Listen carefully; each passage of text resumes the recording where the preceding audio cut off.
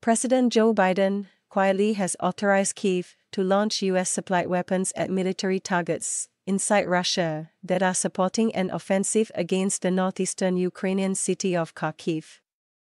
Four US officials, said on Thursday, May 30th. The decision marks a policy shift by Biden, who had steadfastly refused to allow Ukraine to use American weaponry for strikes inside Russia. Russia's embassy in Washington and Russia's mission to the United Nations in New York did not immediately respond to a request for comment. The U.S. officials, speaking on condition of anonymity, said Biden's decision applies only to targets inside Russia near the border with the Kharkiv region, where an offensive launched by Moscow on May 10 has overrun some villages. The president recently directed his team to ensure that Ukraine is able to use US supplied weapons for counterfire purposes in the Kharkiv region, so Ukraine can hit back against Russian forces that are attacking them or preparing to attack them. Said one US official. Russia is building up forces near the northern part of the region, but it lacks the troop numbers to stage a major push Ukraine's top commander, said on Thursday. Kharkiv, Ukraine's second largest city, is 19 miles, 30 kilometers from the border with Russia. It is the second time this year that Biden has quietly relaxed his policy on weapons supplies for Ukraine. Bending to calls to send long range missiles known as ATACMS to Kiev. The Biden administration has come a long way from their hypersensitivity to and misunderstanding of the risk of escalation. Said Alexander Vindman, a retired Army lieutenant colonel and former director for European affairs at the White House National Security Council under the Trump administration. He applauded the shift in Biden's policy, which he said enticed Ukraine's hands. Of course, it's the right move, Vindman said. The US is the biggest supplier of weapons to Ukraine in its battle against the full scale invasion launched by Russian President Vladimir Putin in February 2022.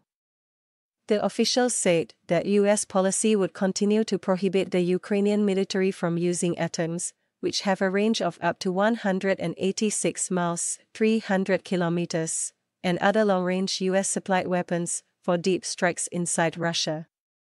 Biden's decision also does not mean the US now approves of drone attacks that Ukraine has been launching against Russian petroleum facilities, they said.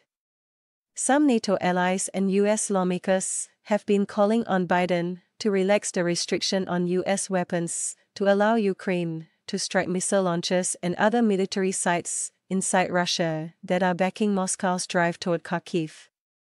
Russia jet fighters, flying inside Russia, out of reach of Ukrainian air defenses, have been supporting the offensive by loosing highly precise glide bombs at Ukrainian defense lines and into Kharkiv, where they have caused numerous civilian casualties. Putin on Tuesday warned NATO members against allowing Ukraine to fire their weapons into Russia and he raised anew a risk of nuclear war. Some experts dismiss his remarks as bluster.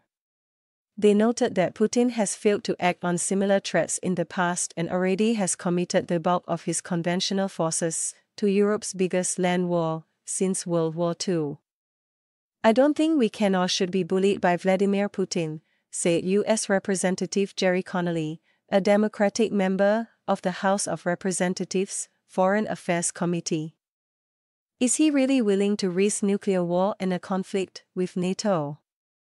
Connolly co signed a May 20th letter with Representative Michael Turner, the Republican chairman of the House Intelligence Committee, and other lawmakers, urging the Biden administration to allow Ukraine to use U.S. weapons to hit strategic targets inside Russia.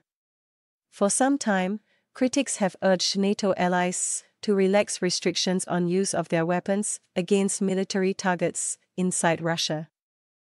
Those voices have grown within the alliance since Russia launched the Kharkiv offensive. Countries that have called for relaxing restrictions or done so for their own arms sent to Ukraine include Britain, the Netherlands, Sweden, the Baltic states, Finland, Denmark, Germany, and France. Biden faced a potentially embarrassing prospect that as he hosts a NATO summit in July, Russian forces would be advancing on Kharkiv and in Ukraine's east as the alliance marks its 75th anniversary.